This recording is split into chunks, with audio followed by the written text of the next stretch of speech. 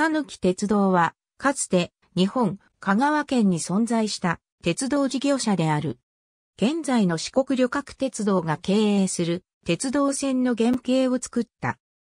多度津において海鮮問屋の大隅屋を経営していた影山陣右衛門が上京して鉄道を見たときに地元においても鉄道敷設の必要があると判断し、多度津駅の近くにある多度津港から琴平宮へ向かう参拝客の輸送を目的に設立した。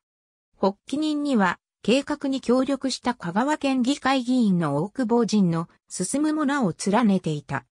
1887年、施設鉄道条例に基づいて申請を出し、翌年寄港された。1889年、東海道本線の全通した年に、讃岐鉄道も初の営業区間である、丸亀駅琴平駅間を開業させた。日本全国で9番目、四国で伊予鉄道に次2番目の開業となった。開通式の席で大久保が本市架橋構想を提案している。旧讃岐鉄道岩屋架道橋を1897年に高松駅まで延伸した。沿線の住民からは、矢よりも早いと呼びなされたという。しかし1904年には山陽本線を建設した山陽鉄道に買収され、1906年には鉄道国有法に基づいて同社が国有化されたため、国鉄線になった。以後、国はこの路線をもとに、四国各地へ鉄道を伸ばしていくことになる。なお、山陽鉄道では、讃岐鉄道を買収した時点で、右行連絡線の計画を立てていたが、実現したのは国有化後の1910年となった。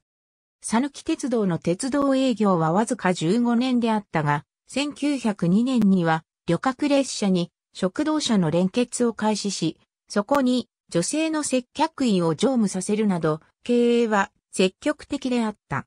また志賀直也も、暗夜航路において、讃岐鉄道多度津駅の様子を描いた。